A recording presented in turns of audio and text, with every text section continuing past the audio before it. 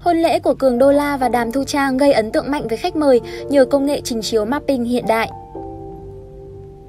Ấn tượng đầu tiên với khách tham gia buổi tiệc là không gian lễ cưới ngập tràn màu xanh của cây cối, núi non, thác nước.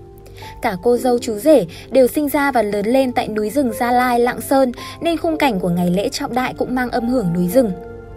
Đại diện đơn vị tổ chức tiệc cưới cho biết họ đã lên ý tưởng tổ chức hôn lễ của cặp đôi suốt một năm, trải qua nhiều lần thay đổi địa điểm mới có được không gian như ý.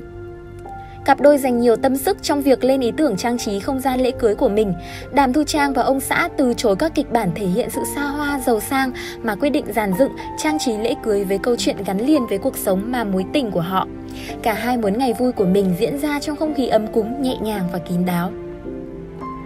Khách mời đến đám cưới của Đàm Thu Trang và Cường Đô La cảm giác như bước vào không gian riêng của cặp đôi. Theo đơn vị tổ chức, cô dâu cẩn trọng với từng chi tiết nhỏ trong tiệc cưới, từ thiết kế thiệp mời, bộ menu bàn tiệc, thanh yêu tang đến không gian tiệc đều hài hòa thống nhất. Cô muốn tất cả đều mang thông điệp gắn liền với cuộc sống cũng như câu chuyện tình yêu của vợ chồng mình. Hình ảnh mô phỏng hai ngọn núi trên sân khấu cùng những thân cây lớn được trang trí quanh mỗi bàn tiệc gợi liên tưởng về quê hương của cô dâu chú rể đệ tạo để tạo thêm sự đặc biệt cho lễ cưới cũng như giúp khách mời hòa mình vào không gian núi rừng, cặp đôi đã tái hiện toàn bộ khung cảnh rừng thiêng núi thẳm giữa khán phòng rộng lớn bằng công nghệ 3D mapping. Lối lên sân khấu không thiết kế theo một đường thẳng thông thường mà uốn lượn như những cung đường đua. Điều này xuất phát từ niềm đam mê tốc độ của hai vợ chồng. Mọi người đều biết tới Cường Đô La là tay lái cử khôi trong nhóm Car Passion, nhưng ít ai ngờ Đàm Thu Trang cũng là một tay lái cự phách không kém. Ngay những ngày đầu hẹn hò, doanh nhân phố núi đã giao siêu xe cho Đàm Thu Trang lái. Anh bị bất ngờ, thậm chí toát mồ hôi khi bạn gái điều khiển chiếc xe một cách điêu luyện.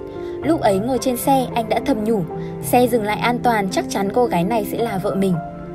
Sau này, trong mỗi sự kiện của câu lạc bộ Car Passion, Cường Đô La và Đàm Thu Trang luôn đồng hành sát cánh cùng nhau trên mọi cung đường.